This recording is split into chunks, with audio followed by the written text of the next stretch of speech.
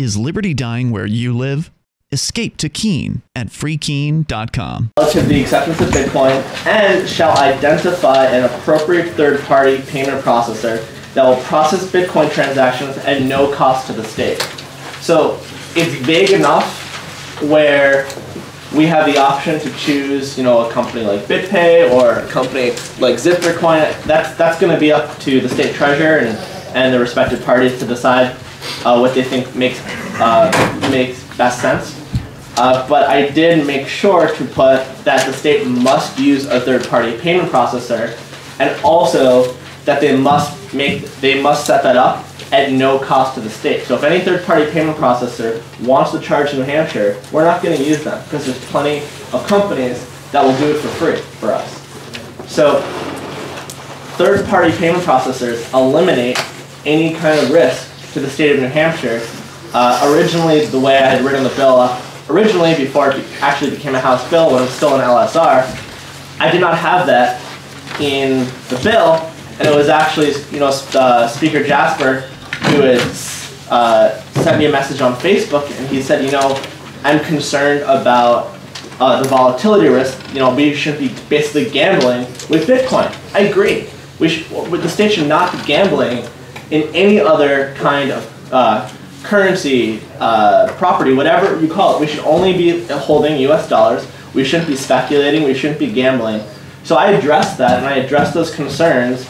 And from uh, from that line where it says the acceptance of Bitcoin and shall identify an appropriate third-party payment processor that will process Bitcoin transactions at no cost to the state. That's not we might find a third-party payment processor. That means we must find a third-party payment processor, and we must do it at no cost to the state. So I just wanted to be crystal clear that the bill, as it's written right now, it's vague enough where we have the option where, you know, let's say we go ahead and use BitPay and then we find that we don't like working with them, we can switch to another payment processor. It's very similar to, you know, if you have a credit card and you don't like working with Visa, you can switch to Discover, you can switch to MasterCard.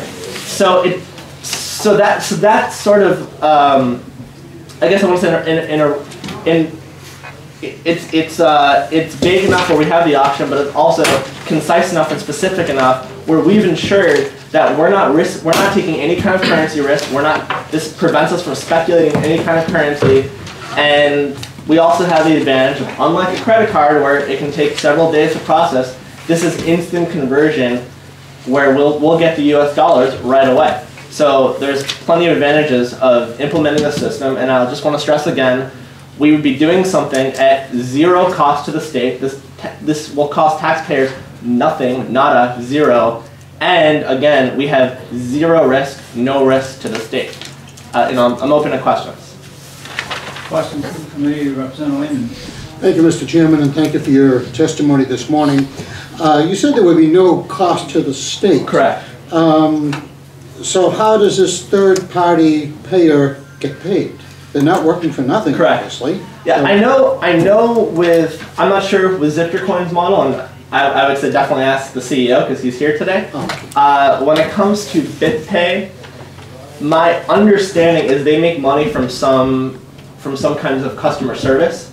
They also did make clear to me though that when working with the state of New Hampshire, they would implement that, and of course that would be in a contract completely free of charge. We wouldn't work the way the bill is written. No company can work with us unless they charge us nothing. And a company like BitPay has been willing to do that. Um, I'll let Ziftercoin speak for their company, uh, but I'm pretty sure they're willing to do that too. So there's there's no setup cost and there's no transaction cost. It just sometimes like so BitPay works with Microsoft. They will charge Microsoft fees for like you know customer service and implementation costs. They're not doing. They would not do that with the state of New Hampshire. They would waive all those charges as a way to get more name exposure. Let me understand this. Sure. So if a customer, if somebody owes the state one thousand dollars Mm-hmm. and they go through BitPay, Mhm. then BitPay then pays the state one thousand dollars in US money. Correct. Instantaneously.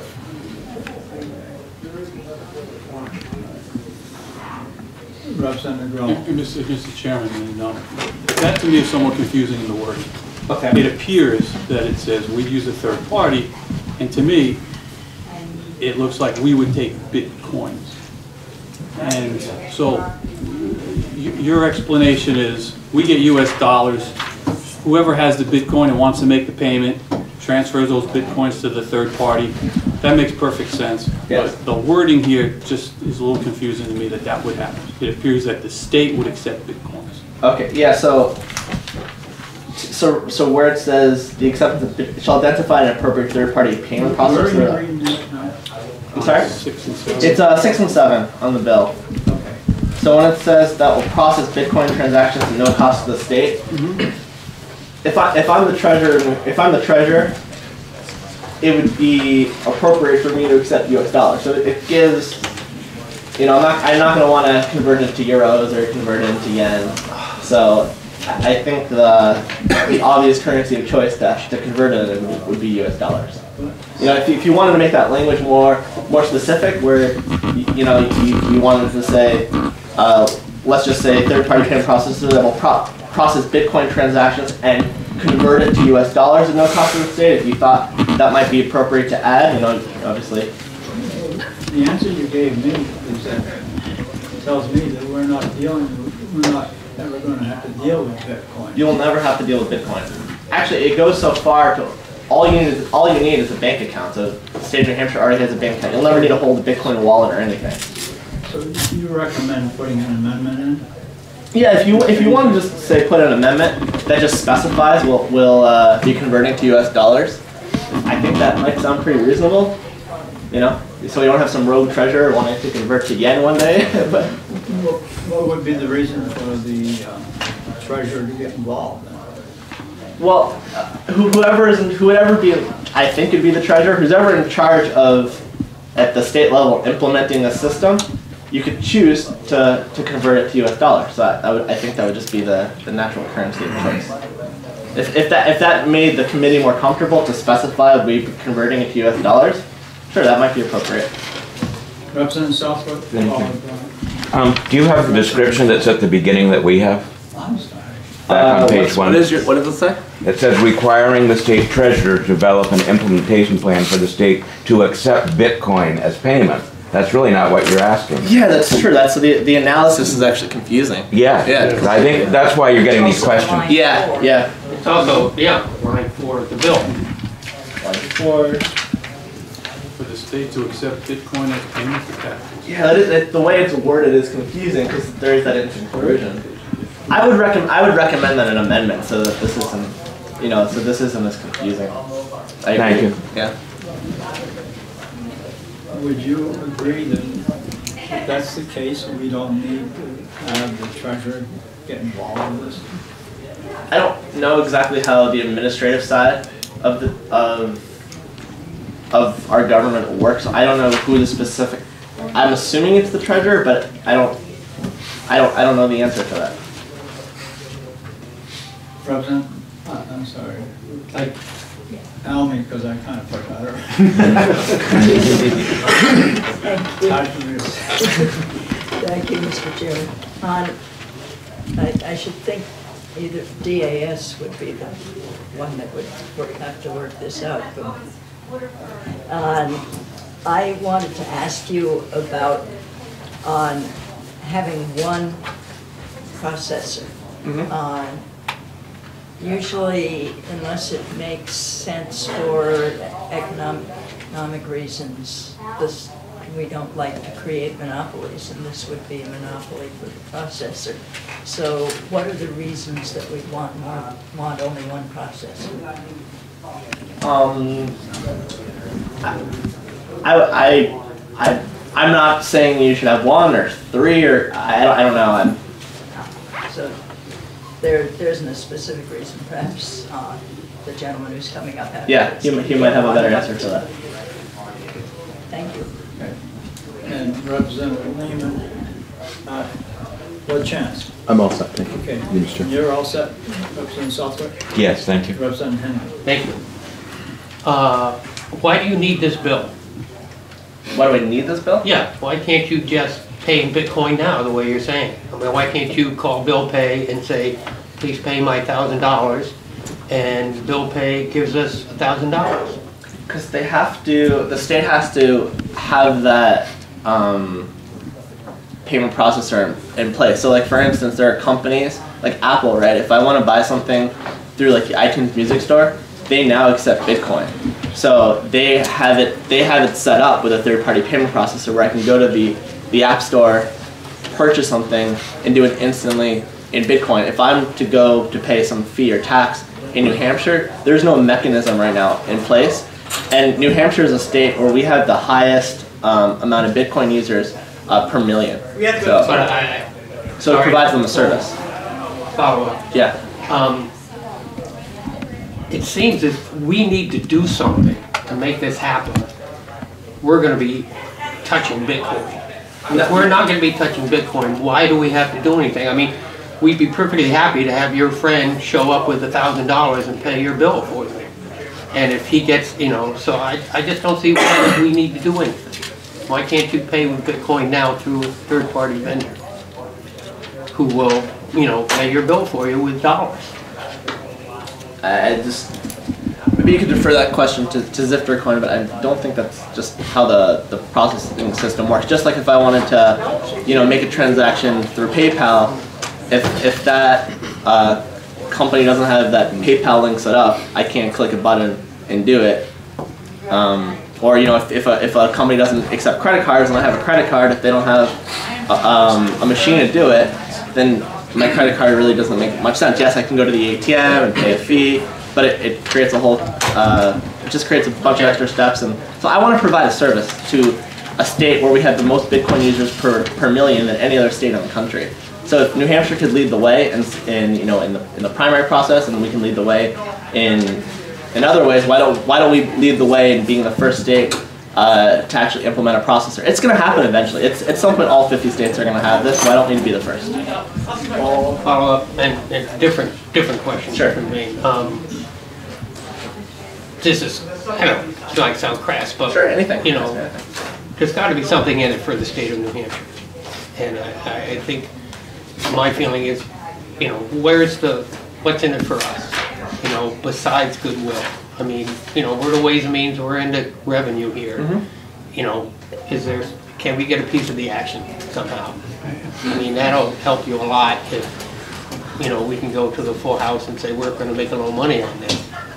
You have a question there too. Yeah, is there any way we can make a little money on this? I'm, well, I'm not gonna. s- I'm not gonna speculate on um, how much revenue is gonna come from Bitcoin. That's obviously gonna be pretty low right now, but the thing is, it's not gonna cost us anything. There's a. I have a background in investing, and there's a there's a guy named Mohnish Pabrai. He wrote an awesome book called The Dhandho Investor, and he talks about the word dhandho, and it's an it's an Indian term, and he says, you know, uh, he, makes the analogy in investing. He says, heads you win, uh, tails you don't lose much, or in some cases, tails you still win a little bit. This is a case where the, the future is heads, right? At some point, there's gonna be a lot more Bitcoin users than there is today. The, the downside is there's no downside. There's, there's, there's no cost. We're not spending any money to implement this, and there's gonna be a little upside at the beginning. So we, we put infrastructure in place that costs us absolutely nothing.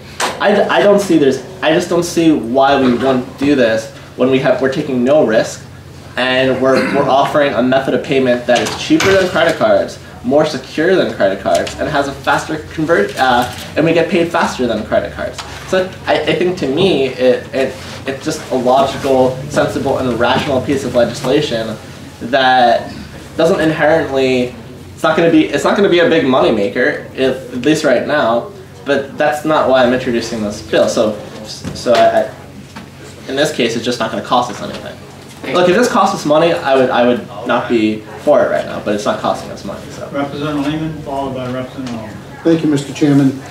You know, there are other nations around the world that accept the American dollar as their standard monetary unit. Mm-hmm. One of them I happen to know personally is Ecuador. Okay. A country I've studied very thoroughly. And they accept the American dollar as the same valuation as we do here in the United States. Mm-hmm. Um, So how would this affect a country such as Ecuador? it wouldn't or any other country, well, would they be required to follow? We're talking about the state of New Hampshire. Right. Okay. I withdraw my follow-up. Thank you, Mr. Chairman. Representative Holmes. Thank, thank you, Representative, for your uh, responses to all our many questions. Yeah, of I've got yet another question. Um, You talked about no risk to the state, Yes, and I just want to make sure my understanding of Bitcoin is correct. That Bitcoin is a commodity as determined by the IRS, is something that has to be sold on exchange to convert to US dollars. Is that correct? it's all, it's, yeah, it's on, a- you can get it on exchange, correct, yeah. But the only way to convert a Bitcoin to dollars is through an exchange. There's, I I would, I would ask that you could defer that question to the CEO of Ziftercoin, so that, so that, and they can explain how the conversion actually works. Any further questions? Oh, yes, Representative Almy. Uh, There are three states, to my knowledge now, that have recognized Bitcoin in some way in their laws. That is mostly trying to figure out how to charge on, in, on, in the earnings of the company, how much it's going to be worth in dollars so they can tax it. Uh, Is there any state that is looking yet at this, Looking at or any? what, like what we're doing, Yes. I don't, your- I don't, Like your bill. I don't believe so, which is one of the reasons this bill has gotten a lot of attention in the press. Any further questions? If not, thank you for your testimony. Just one quick one. Are there any states that have uh, rejected Bitcoin? I know New York has some awful, I don't know the exact details, but I know if you talk to anyone in the Bitcoin community, apparently New York has done some atrocious things in terms of trying to, to regulate it out of existence, but I don't know the exact details of that. Thank you. Yeah. Thank you for your testimony. Yeah, you're welcome. Next is Bob Williams from Milford, Vermont. You have written testimony, you don't, Bob Williams, who was, I think that's me. Yes, I have a little you bit. do not indicate whether you're for or against. I'm actually, I am for the bill. Did you sign up to speak? You're up. Thank you. I've got a uh, brief outline. I'm just going to hit a couple passages on my testimony I think are pertinent based on some of the questions You I've heard here today. Testimony, Sorry? you said you have written testimony? Yes. And is it be passed out? Oh, no, I was going to read the testimony. Is that, I can provide a copy if you like. Okay. Is that fine? Uh, yeah, My name's Bob Wilkins. I'm from Peterborough, New Hampshire. A company in Milford, New Hampshire called Zifter. Zifter's been around since 2008. We have 36 employees. We've raised over $7 million in capital. We created a shopping engine that uh, right now services about 2 million customers. I have been an executive entrepreneur since the early 80s. I've personally uh, started six different companies. I've had two IPOs. Uh, most recently here in New Hampshire, I was president EVP of PC Connection for 11 years and saw its growth through a tremendous part of the state through 2006. So I have a big background in the tech industry and in creating jobs and creating income and so on. Our company, Zifter, moved into the cryptocurrency space about a year and a half ago. And I personally moved our company to this because as a tech person, I became um, fascinated with what the technology behind Bitcoin can do, which is really a thing called the blockchain. If anybody has questions about that, I can get into that a little bit It's called what? the blockchain. The, blo- the blockchain is really what most venture capitalists and most technology people are very excited about. It's the first time that we've been able to move information back and forth between us, everybody in this room, in a peer-to-peer network, and have it validated by ourselves. We don't need a central repository to validate the information exchange. And right now, we think about that information of exchange as a token called a Bitcoin. But there's many other purposes to this technology. We could exchange titles, we could exchange deeds, we can exchange lots of different things without having one central place be the repository or the authority that says, did we receive this or did we send it? And that's really the power behind Bitcoin. I want to read a statement off, off this I think will help in why we're very excited about this. Bitcoin has never been broken. There are, however, have been many companies in the Bitcoin ecosystem that have been broken into and coins were either lost or stolen. This has nothing to do with Bitcoin security. It has everything to do with the companies whom were broken into in their security policies. Just like Target, Home Depot, and many larger companies exposed people's credit card information to hackers, this had nothing to do with the credit card companies. The breach had to do with the company's security around its user information. Now, the same companies had been taking bitcoins for their services and a hacker was able to get into their systems. For those customers who had used bitcoins, there's, that security breach wouldn't have mattered. Why? Because cryptocurrency is a send-only protocol. There's no number left behind. There's no number like a credit card that can be charged over and over again. This makes cryptocurrency much more secure for the consumer and the merchant taking cryptocurrency. The state today pays fees to the credit card processing companies.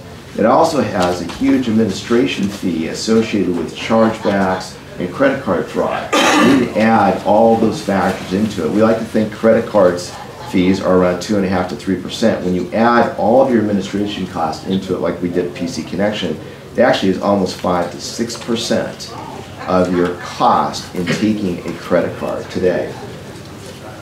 Centralized repositories are actually more vulnerable to attack than you might think. Take the latest break-in in banks this weekend in Russia, Eastern Europe, and in the US in which over 1 billion was lost. A central repository system that depends on one area is a weak link. What Bitcoin does and the blockchain does is it removes the weak link. It is it is never, Bitcoin and the blockchain have never been broken into. It's a very secure protocol, a very fast protocol for us to to do transactions on it and lowers operating costs. So all the things around security and so on should be, should be taken out of, of the thought process. This is a much better way to do business than the current processes we have today. Now, the question comes into this token called a Bitcoin, and there are other types of coins out there we call altcoins that have their own tokens, Litecoin and Dogecoin and Zifter coin. And the question is, well, how do we move these into a monetary system? Because the state doesn't want to hold on to Bitcoins or Doge. They want cash. They want US dollar. So the way the exchange process works and the way Zifter Pay works is just like today when you go on and a user is going to use a credit card Instead of putting in a credit card information and, and all the personal information around that credit card that's now held and can be recharged, a Bitcoin is sent. It's sent through our system. So same thing, you press on a button on a website, instead of putting a credit card information in, you put in your, your Bitcoin address number. When that Bitcoin address is sent through the Zifter Pay system, we actually move that to over 11 different exchanges and we bid on who's going to give us the best price for the consumer. So if the Bitcoin price is $200 at that instant and moment, it could be $200 one exchange, it could be $190 in another exchange, it could be 210 on another exchange. We take the averages and credit the consumer for that in US dollars. It's immediately sold. It is gone. Now we have US dollars in our process, and the US dollars are then moved to the state for the goods and services that were just sold. The consumer ended up getting the best average of the pricing that Bitcoin's being sold at at that point, not the lowest, not the highest, but they were able to move their Bitcoins through. The state got US dollars and they lost the costs associated with processing credit cards, that two and a half to three percent, plus the administrative cost of chargebacks. Who makes that decision that they're going to use the average? We do. So in our case, Zifter Pay uses the average. But some places they say, well, we're, we're getting low, uh, we're running towards the red. Let's not we'll use the low part or the high to our advantage. Well, the question came up, how do companies like BitPay and Zifter Pay make money? We make some of our money on the exchange rate. So we're offering the consumer an average. If I was a consumer today and just wanted to sell my Bitcoin first for US dollars and then take the US dollars and go pay the state, That's a laborious process. I've got to check into 11 different exchanges around the world. and I have to monitor the exchanges to find out where I'm going to get my best price. Time, cost, everything associated with that. So by our, with our service, what we're offering the consumer is the ability to get the best average price at that given moment and immediately cash out their coins. We make our money in between. Do these 11 exchanges represent all the exchanges for Bitcoins or the the biggest or? Well, what we feel at this moment in time are the biggest and most secure exchanges. There's today over 50 different exchanges in the world and it's growing. And unlike a stock certificate, when you go sell an Apple stock, you know that if you go to Charles Schwab or you go to Merrill Lynch or you go to E-Trade, that price is the same in all cases within fractions of pennies. That's not true with the way the exchanges work today in cryptocurrency. They don't talk to each other. So the exchange price in China can be completely different than the exchange price of an exchange in the United States. So we connect our services to those to offer the best average price to the consumer. And- And what you're doing is you're hoping that the 11 that you select is representative of the whole. Well, we, we want it to be the best 11 that have the highest trading volume and the most secure systems because we're taking the risk at that point. So for the state in accepting cryptocurrency, and it shouldn't just be Bitcoin on the, on the bill, it should be cryptocurrency in general because Bitcoin five years from now might not be the coin that is the most dominant. And I, the way I look at Bitcoin is like Visa, Master, American Express. There's a processing system for credit cards that processes all those cards, including Discover Card. There are now today over 500 altcoins in the marketplace. Probably 10 really legitimate altcoins out there. We don't know which coin's going to be the best, just like we didn't know if Discover would overtake American Express or Barclays is now going to overtake American Express. You want to put a processing system in place that handles the options so you can bring in the most amount of customers that are using cryptocurrency, because that should be the goal. The goal should be, we want customers not to give us credit card information anymore. You don't want the liability, you don't want the cost associated with it. The goal should be, we want to move into getting our consumer base using cryptocurrency as the payment to the state, because the state will save a lot of money by doing so.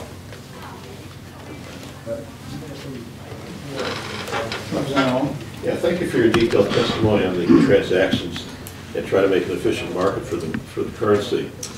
Uh, I want to go back to testimony we heard last week about what is a Bitcoin and how do we convert that Bitcoin into cash. The testimony last week, uh, it was acknowledged that the Bitcoin is nothing more than a prize of solving a computer puzzle. Is that a fair summary? That's exactly right. Okay. So the market for Bitcoin and cash is the market for these prizes.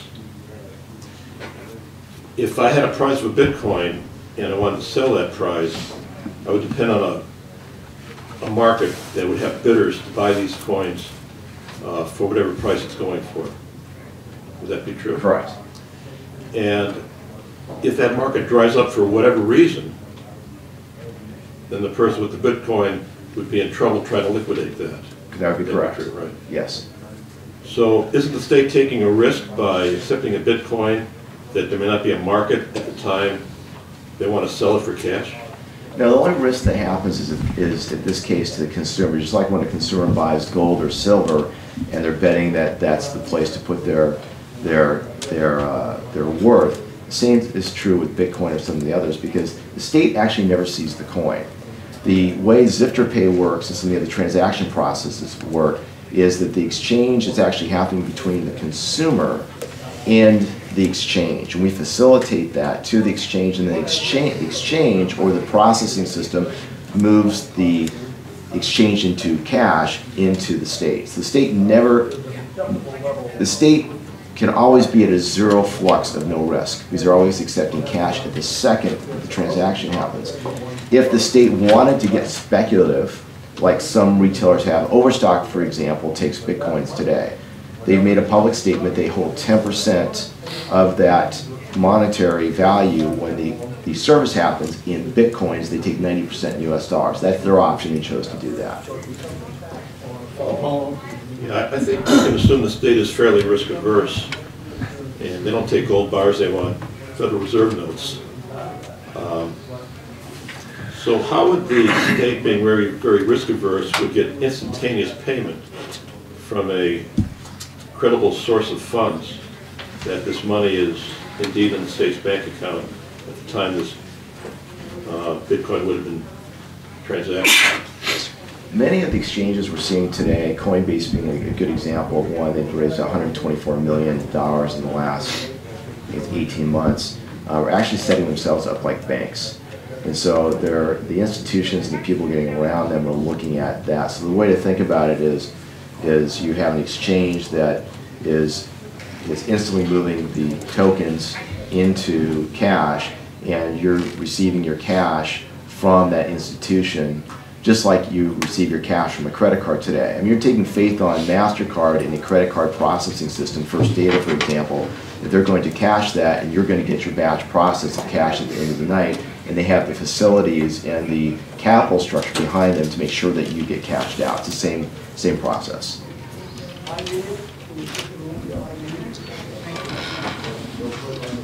Uh, I just wanted to follow up, but the process we're talking about with MasterCard and Visa is a process that cash came into those companies from some source, and that cash is going out to the state through a processor.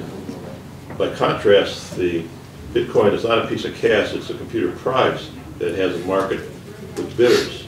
And if there's any problem with that, the bids on a Bitcoin, that transaction would be very difficult to convert to cash. And that's my concern with the, uh, uh, with the Bitcoin.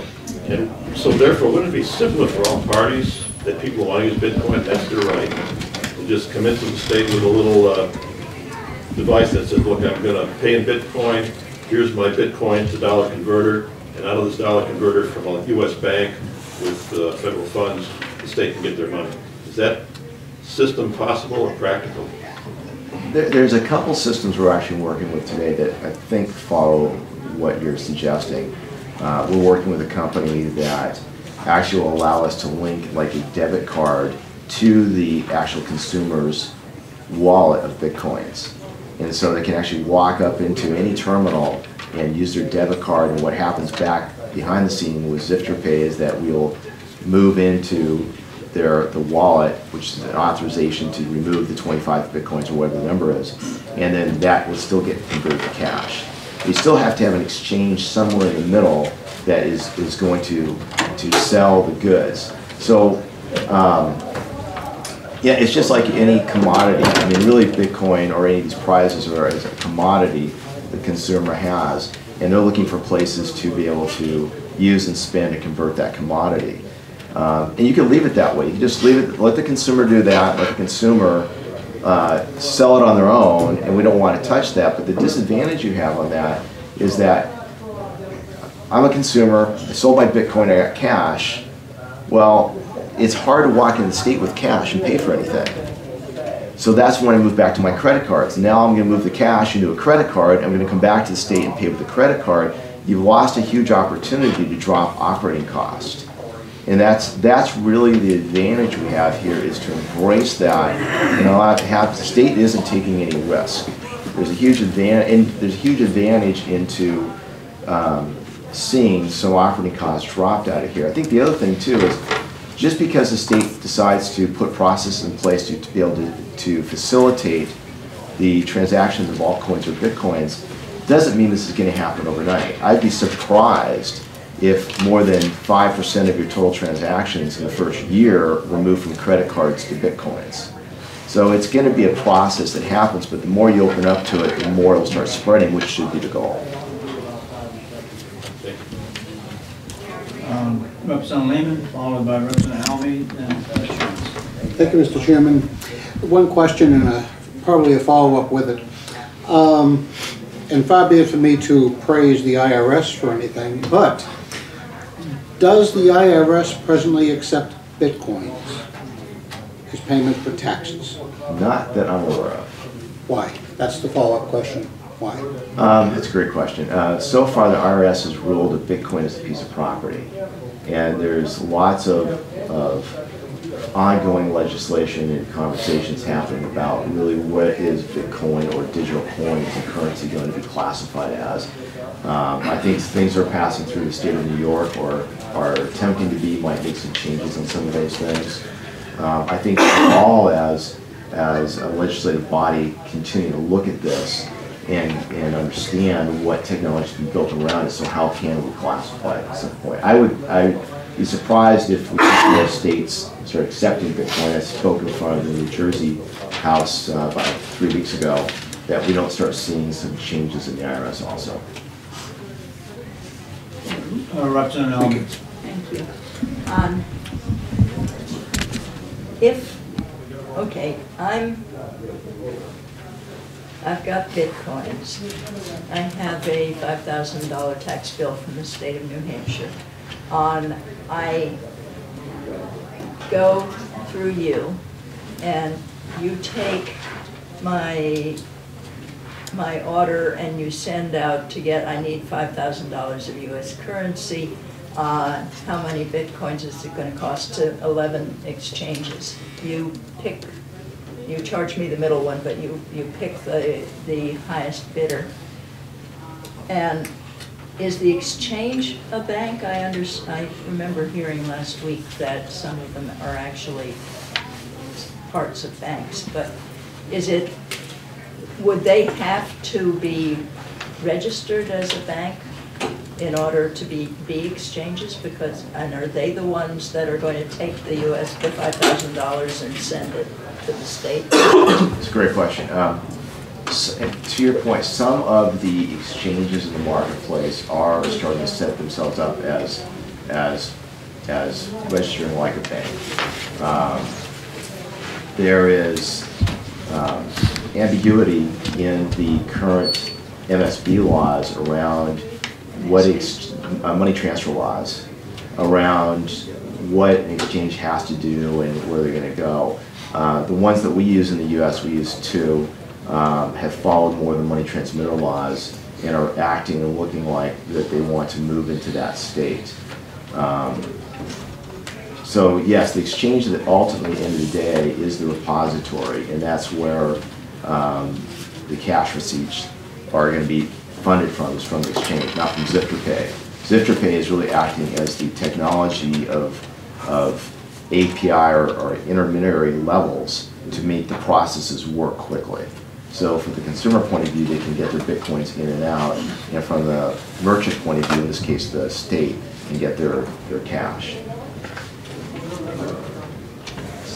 If I could follow up, so s- none of these exchanges are actually parts of banks at this point, but they're somehow, our money transmittal laws are pretty severe at this point for everything else. They're somehow avoiding having to, to deal with that so far, they're. No, the, the exchanges like Coinbase and uh, another one we use is Cryptsy, they're actually applying for or have received, I believe Coinbase made an announcement last week that they received their money transmission license in 28 states.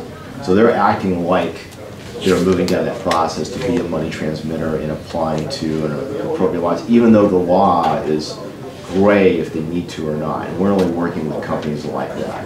They're acting like a bank and have, have large backing. Before we get to the Representative Chance, there's a follow-up to Almy. So that five thousand dollar bill that needs to be paid to the state goes to an exchange. Says, okay, I want to convert my bitcoins to five thousand dollars. You give them the credit for the average of a, you know, lottery. But you can make your money by actually selling it to the highest. It's one way that Zifter Pay makes their money. We, we have four different mechanisms we make money on. The There's in the marketplace, in the shopping marketplace, there's a thing called uh, affiliate fees, when you're able to bring customers to different merchants. So as we sign up merchants, the state's not a good example of this, but let's just say uh, Joe's Coffee down the road, and they decide to bring on and accept Bitcoin. If we bring customers to them, they pay affiliate fees that range from five to ten percent. So it's one way we make money. We make actually a lot of money today off Amazon. Amazon pays us eight percent to bring customers to their doors.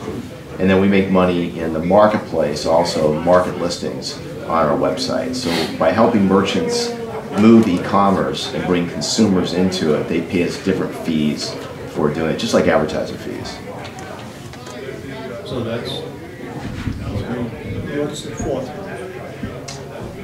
Uh, we've got money trans, we've got the market maker, we've got the, oh, there also is a fee on credit cards. We actually have partnered with our system to not just take cryptocurrency, our system allows smaller merchants to get out PCI compliance. We partner with WorldPay, the second largest, third largest credit card processor in the world, to our systems be able to accept credit cards. So as a consumer, we're tired of the Targets and the Home Depots and our credit card information being stored on their systems. Our systems allow the merchant not to store the credit card information, and your credit card is then tokenized and moved directly to the credit card processor, and we make a fee for that service also. So you as an exchange would not want the state to hold Bitcoin, so you, you, you want involved with Bitcoin so that you can work uh, between the customer that buys and sells through the various exchanges. We want to help facilitate the use of cryptocurrency. Big facility. Yes. Thank you, Mr. Chairman. Thank you for your testimony. Um, Very interesting. Um, Two questions, if I could. To um, to to peg off uh, Representative Almy's question about the $5,000 tax bill. Um, So she makes that payment, we do the Bitcoin uh, uh, deal, it goes to the exchange. Can you help us understand um, where there is no risk? Number one, um, how long till the state gets the money? And who actually makes that payment to the state? And how is there no risk? There's, there's got to be some sort of risk breakdown. Show us how there is no risk to this. Okay.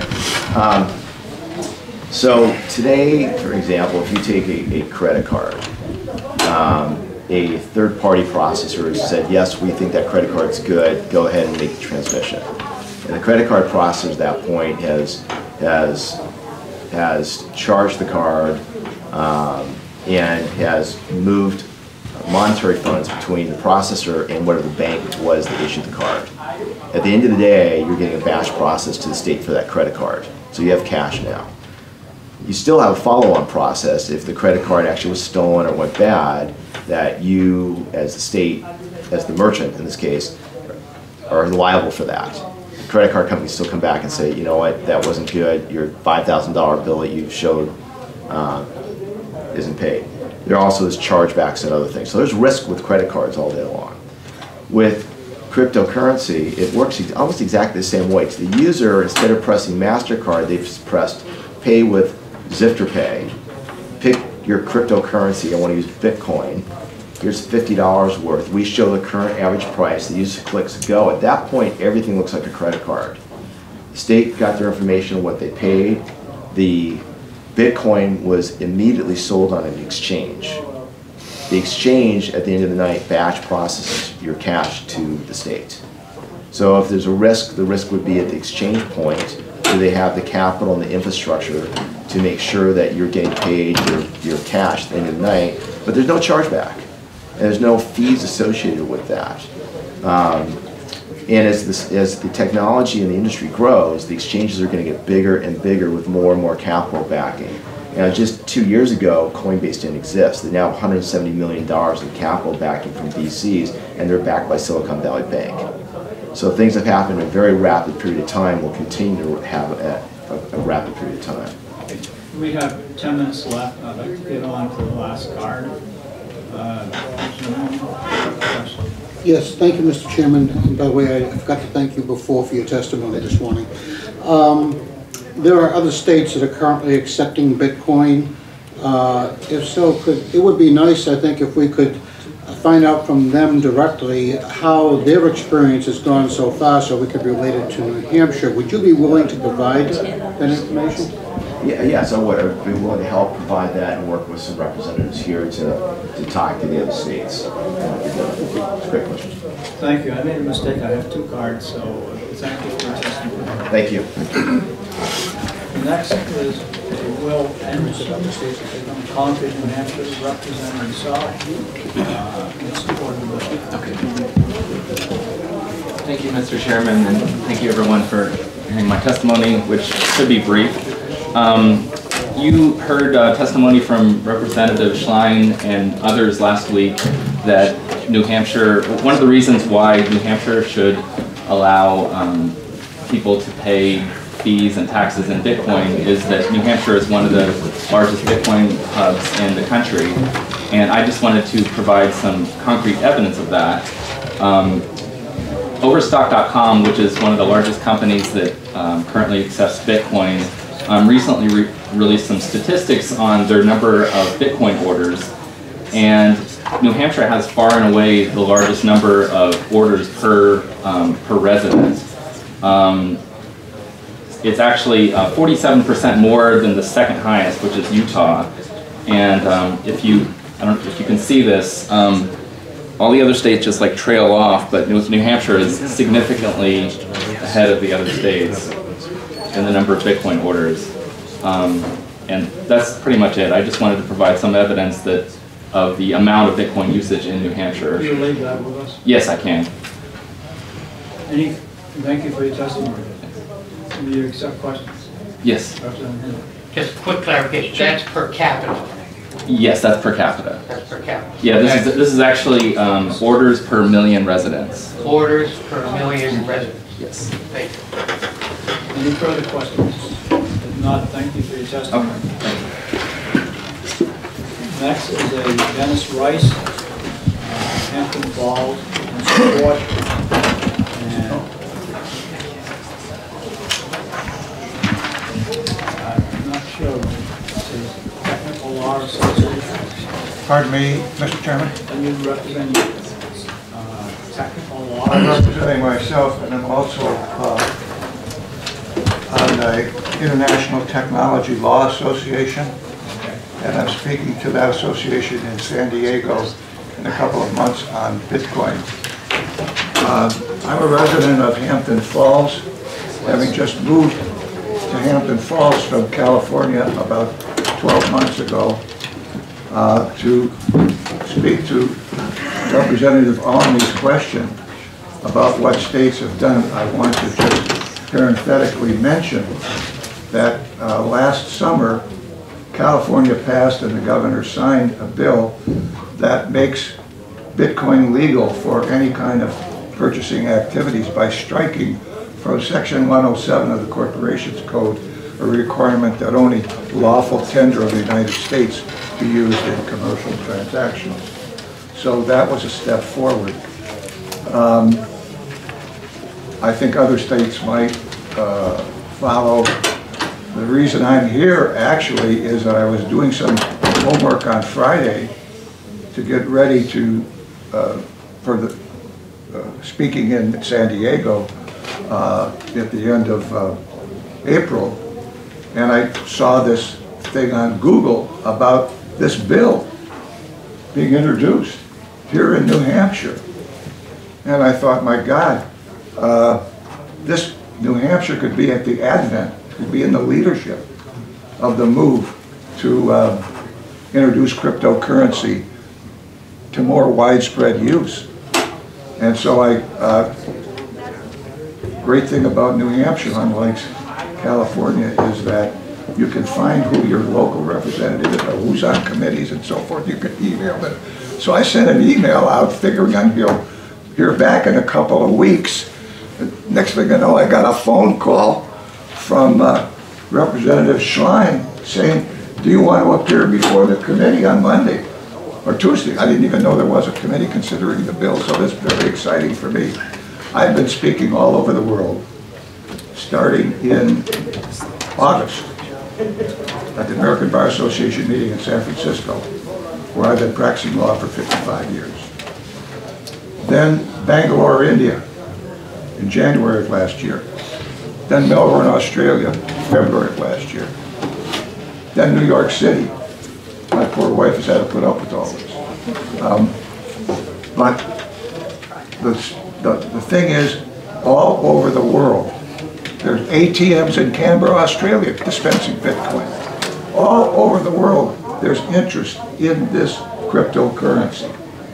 And when I saw that my newly adopted state who I'm a registered voter in Hampton Falls, is considering a bill of this magnitude. I thought, my God, uh, this is really something. This is really something. Um, I don't know how many of you are familiar with the new book that's out by Michael J. Casey and Paul Vigna called The Age of Cryptocurrency, How Bitcoin and Digital Money Are Challenging the Global, global Economic Order, which just came out this year. But they state in there, and I'm quoting, Bitcoin is much more than a currency. It is a radically new, decentralized system for managing the ways societies exchange value. It is quite simply one of the most powerful innovations in finance in 500 years. That's in the book by Casey and Vigna. Now, it's a work in progress. Um, it's constantly being improved. It's open source and it's copyright free so people can be uh, accessing it and, and working on improvements. Uh, one well-known San Francisco venture capitalist who um, I will not name, but he's a client of mine. And his firm has invested over $50 million in Bitcoin startups. Uh, he estimates, quote, 10,000 of the best developers in the world are working on Bitcoin, unquote. And this is not a person who's not technologically knowledgeable. This person invented the mosaic system, which gave rise to what we now know as search mechanisms on the web. Um, if you read Casey and Vigna in the book, they contrast the credit card payment and Bitcoin payment by citing the example of buying a cup of coffee at your local coffee shop. If payment is made by credit card, the buyer swipes the card, grabs the cup, and leaves. But the financial system is just starting. Before the shop gets paid and the buyer's bank balance is debited, more than a half dozen institutions will have shared part of the buyer's account or otherwise intervened in the money flow. These include a billing processor, a card association like Visa, MasterCard, the buyer's bank, the coffee shop's bank, a payment processor, the clearinghouse network man managed by the Federal Reserve Bank. If all goes well, if you buy the coffee, uh, your bank will confer, will confirm his or her identity and good credit and send payment to the coffee shop's bank within two or three days. For this privilege, the coffee shop pays a fee of between 2 and 3%. That's on credit card deals. With Bitcoin, all that's done away with. The, the fees are either 0% or less than 1%. That's the range. So this is great for merchants. That's why merchants love Bitcoin. Um, if the buyer pays in Bitcoin, it allows the buyer's embedded secret packers to embed a Bitcoin address, public inform the Bitcoin computer network, the buyer's transferring $1.75 worth of Bitcoin, which uh, this past year was about 0, 0 0.0076 Bitcoin, uh, to the coffee shop's address, and that all takes just seconds for the merchant to get paid. Now, um, Mr. Rice? Yes. We have just a couple of minutes left, so if you could Okay. Um, What I want to say, what I want to point out is that uh, cryptocurrency, uh, uh, electronic use of money is not new and it's expanding. Um, In Sweden, for example, 95% of all transactions are done without cash. The United States, most transactions between companies and otherwise, 93% are cashless. They're electronically done. So this is not something that's totally new. What is new is that people, uh, retail, at the retail level, are going to be using this device. Um, I want to read one thing that, just let me read this one thing. Uh, stated, it was in the New York Times last January. Marc Andreessen of Andreessen Horowitz, quote, "A mysterious new technology emerges seemingly out of nowhere, but actually the result of two decades of intense research and development by nearly anonymous researchers. Political idealists project visions of liberation and revolutions onto it. Establishment elites heap scorn and contempt on it. On the other hand, technologists, nerds, are transfixed by it. They see within it enormous potential and spend their nights and weekends tinkering with it. Eventually, mainstream products, companies, industries emerge to commercialize it, its effects become profound, and later, many people wonder why its powerful promise wasn't more obvious from the start. What technology am I talking about? Personal computers in 1975, the internet in 1993, and I believe Bitcoin in 2014. Thank you, Mr. Chairman. Thank you for your testimony. Any questions from the committee? Seeing none, thank you very much. Thank you. Anybody else wish to testify for or against House Bill 552-FN? What happened to the cards that uh, were filed on Thursday? Because I turned one in on Thursday. As did I. Pass that around. Hold on one second. What is your name? Darryl Perry.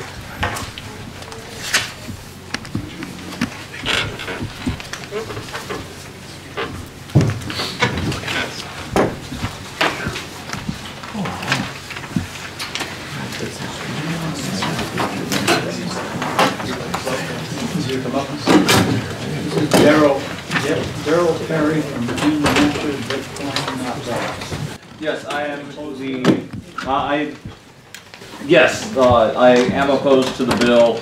With all due respect to Representative Schleien and the other Bitcoin supporters, uh, I'm a Bitcoin supporter myself, but I am opposed to this bill. Uh, mainly because of the deadlines that are in place, and I know how great the state is at keeping deadlines. Uh, you may recall it was about two years ago when the therapeutic cannabis bill went through, and there are all kinds of deadlines that the state has not met on implementation of therapeutic cannabis. Uh, this bill before you implements two deadlines. One deadline for presenting a plan that would identify appropriate third-party payment processor that will accept Bitcoin with no transaction cost to the state. I'm a little unclear what would happen if the state is unable to identify a third payment or third-party payment processor on or before January 1st of 2017. And then there's the requirement that the state begin accepting it in July of 2017. So again, I, I'm a little unclear of what happens if a third payment processor or third-party payment processor cannot be found. Also, there was the question about uh, will the IRS accept Bitcoin as payment for taxes? And the answer is no. The IRS also will not accept gold or silver for payment of taxes. The state of New Hampshire will not accept gold or silver for payment of taxes. And where does this end? Will, will we go down this slippery slope to anything of value and then could I take a carton of eggs to pay my $5 parking ticket? Uh, there are contradictory regulations at the federal level regarding Bitcoin. The IRS says it's property, FinCEN says it's money, the FEC says that it's an in-kind contribution. Uh, there's been a lot of testimony about making it easier to pay and collect taxes and fees. I don't want it to be easy for collection of fees. The last fee that I paid, I went in with $35 of pennies and I sat there until they accepted the pennies. I was threatened about three times with arrest by the bailiff, claiming that pennies are not currency. Uh, he said, pennies are money, but it says up here that they only take cash or credit card or check. And pennies aren't cash, so therefore get out of here or you're going to be arrested. And I said, I'll stay and wait until they take my pennies. So I don't want it to be easier for people to take money from me. Uh, and as the gentleman from Ziftercoin pointed out, there are many other alternative or uh, rather cryptocurrencies other than Bitcoin. So if you are going to pass this, then at least have the decency to amend it to say virtual currencies or any other currency, and then I can give you a Canadian $5 bill to pay my parking ticket.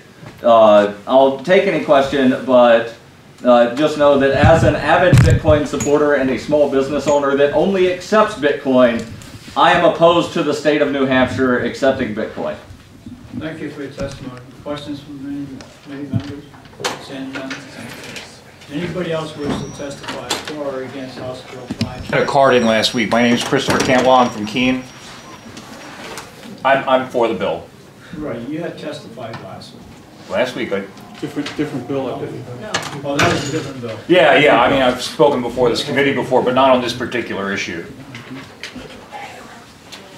Okay, um, Mr. Campbell. Uh, Thanks a lot. Um, I'm a, I'm a writer and a talk show host. I spend a great deal of time discussing economics and Bitcoin in particular. Um, Bitcoin is, as a result, a considerable portion of my income. Uh, I live in Keene, and in Keene, there's a number of businesses over there where I can spend Bitcoin directly, and I infinitely prefer shopping at those businesses over an otherwise identical product or service, and there's, there's a number of reasons for that. When I accept Bitcoin from my advertisers and my contributors, uh, I do not use a payment processor to convert them into dollars because I expect the value of Bitcoin to go up over time. I'm betting that I'm betting on Bitcoin, okay? And so I, I hold my Bitcoin for as long as I possibly can. I'm not terribly interested in holding dollars because we all know that dollars are going down over time and the expectation is that Bitcoin will go up because there's not there's a there's a limited number of Bitcoins. Um, so when I I don't want to part with those bitcoins until I absolutely have to make the payment. It's it's preferable for me to uh, uh, part with them when I'm buying something. If I were to, uh, a couple of people had asked why we don't just convert our bitcoins into dollars and then pay. Well, because if you're not regularly converting bitcoins into dollars, it's like kind of clunky to do that, if you will. If the state is going to be accepting Bitcoin, they set up a, a payment processor like Ziftercoin or BitPay, and then it's it's very streamlined. You guys don't even once this is set up, you're never you're never going to know the difference. I know the difference because I'm not regularly doing that.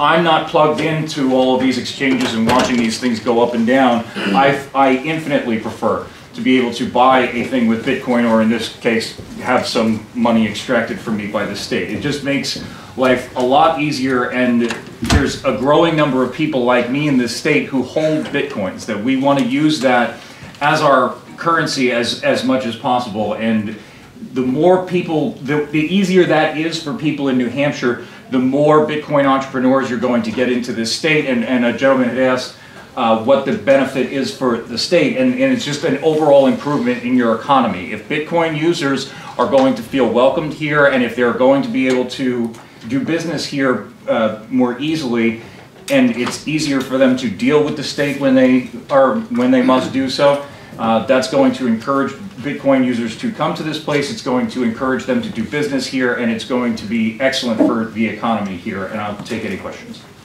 Thank you for your testimony. Any questions from the Representative Um, just quickly, thank you. Um, just theoretically, when Bitcoin was about eight hundred and thirty-five dollars, and now I think as of Friday, it's around two fifty. So if you're using Bitcoin to pay for service, when it's at a lower rate, you're using more Bitcoins? Yeah, I mean, just like uh, just like any other exchange rate. So I mean, Bitcoin had gone up to 800, and at some point, I think it actually hit 1,200 dollars, right? I got into Bitcoin originally when it was lower than that, right? So I mean, when when it was up there, it was very preferable for me to go out and spend Bitcoins. But I knew, but as a, as an economist, I look at that and I say that when Bitcoin goes from you know $200 to over $1,200, I say speculative bubble. Don't buy that right now, right?